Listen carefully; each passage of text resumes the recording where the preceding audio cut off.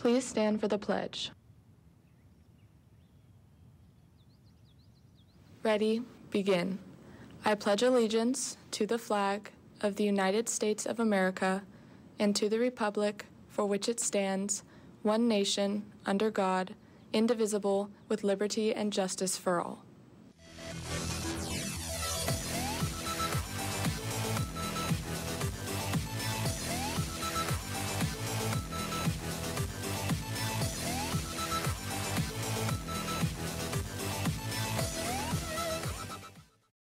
Morning, Carlsbad. We have a great show planned for you today. To start it off, we have Grant live in the studio with ASB, along with Bree live with men's volleyball. That's right, and then we're gonna have Holden live on the Magic Window talking about blockchains. Sounds like a great show. I'm Micah Carlson, I'm Lucy Walker. and CHS TV starts right now.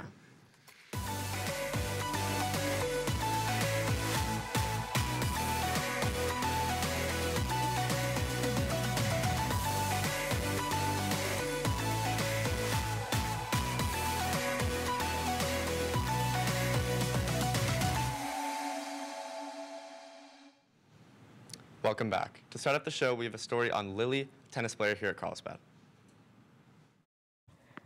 I'm Lily Nolte, and I'm the freshman class president. The summer before freshman year was all about trying new things for Lily. As well as signing up for freshman class president, she decided to give tennis a try. So I started playing tennis this past summer, right before freshman year. Tennis would end up becoming very successful for Lily, with her making it all the way to Barnes on her first competitive year. My biggest tennis accomplishment was making it to Barnes with my partner Cece, and we just made it pretty far into that tournament, and I'm really proud of us. Lily has not let her busy tennis schedule stop her from being the best class president she can be. Me and my vice president will meet with our advisor, Senor Rick, at lunch or before school just to talk about some of our activities or anything we might want to set up. For Lily, her main focus is social. She finds it important to include everyone in school spirit. Being class president, it's really important to get people involved in our school and just show more Lancer pride. Showing our Lancer pride is what you do best, Lily. Reporting for CHS TV with photojournalist Keely McElroy. From Carlsbad, California, I'm Faye Glenn. Thank you for that piece, Keely and Faye. Come see the Student Production Club's fourth annual original production, Forget Me Nots. The two act play is entirely written, directed, and performed by CHS students. Tickets can be purchased at showticketsforyou.com. Shows will be Thursday at 7 p.m. and Friday at, 2, at 4 p.m. CHS Baseball has a game today starting at 3:30 against Paloma Valley.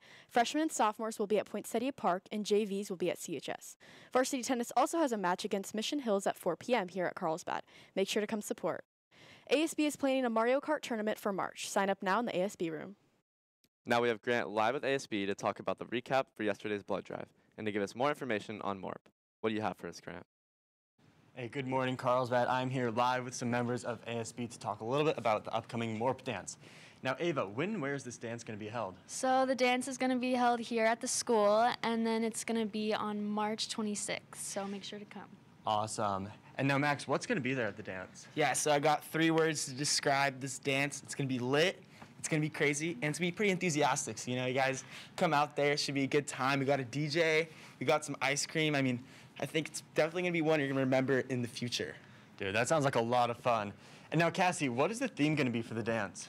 The theme's going to be Back to the Future, and it'll most likely be a blacklight dance, so make sure to wear white and bright colors. Awesome. And- And now, before we send it back to the anchors, I've got a quick little trivia question for you guys. Do you guys know when Back to the Future was released? Oh, A- Ava knows. you gotta know. I know. It was released March 26, 2022, Saturday. See you there. Awesome. All right, hey, thank you guys so much for coming on. Anchors, back to you. Thank you, Grant. The 2022 Ninth Circuit Court Civics Contest is now taking place. The topic is the First Amendment and the Schoolhouse Gate, students' free speech rights. Deadline for entries is March 18th. Cash prices are given for the top three entries. For more information, see www.ca9.uscourts.gov slash civics contest. Applications for class counselor, ASB council for the 2022 to 2023 school year are now available in the ASB room or online at lancernation.org. The deadline to submit applications is March 4th. The Carlsbad Equity Coalition is now accepting entries for their speech competition answering the question, What does equity mean to you? Video entries are due by March 1st. There's a $500 grand prize. Go to Carlsbad Equity Coalition for more details. Math Lab is available before school from 7:25 to 8:25 a.m. in room 7106. Stop by if you'd like some help. Switching topics, we now have Bree live with men's volleyball. What's up, Bree?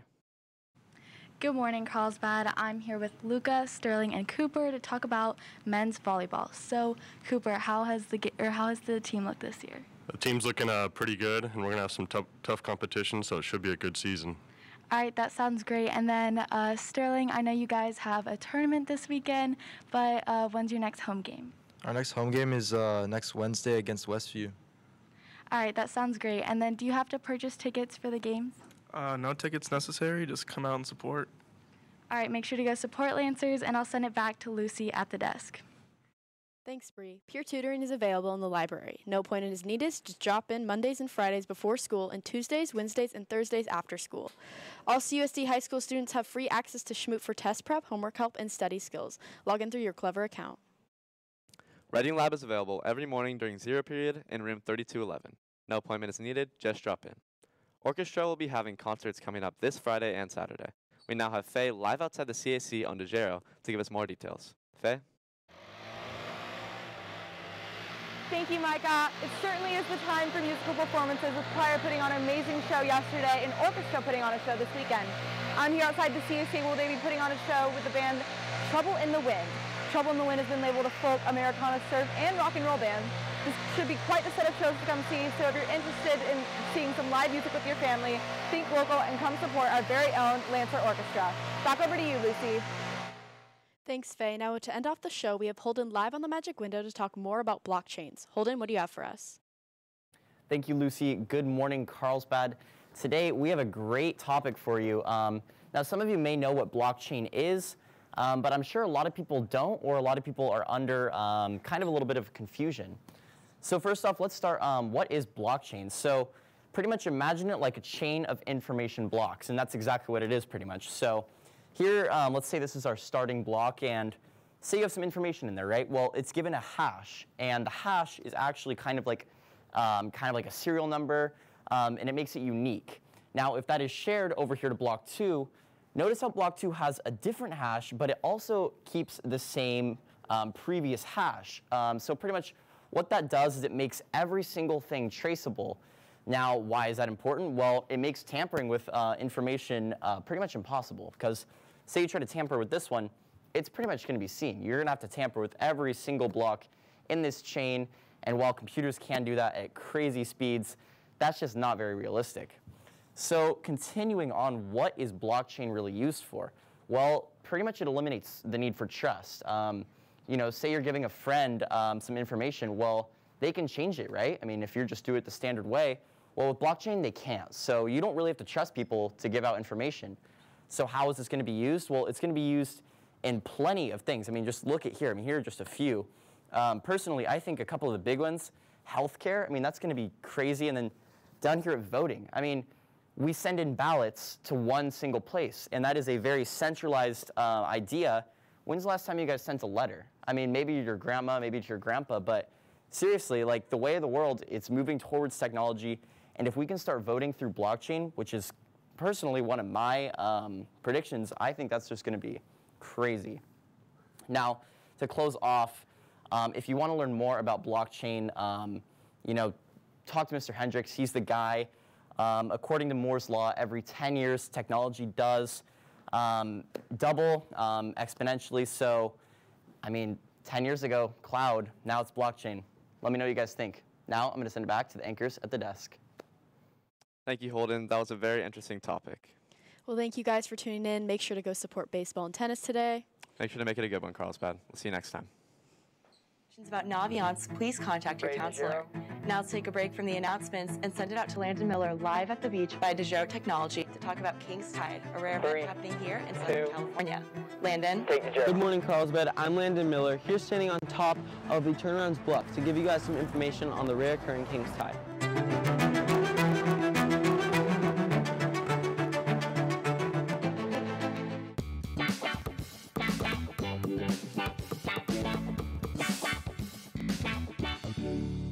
Hi, I'm Jacob Clark. Occasionally on CHS TV, we'll broadcast live from our Lightcraft studio. This technology is officially called virtual production, and it's pretty amazing.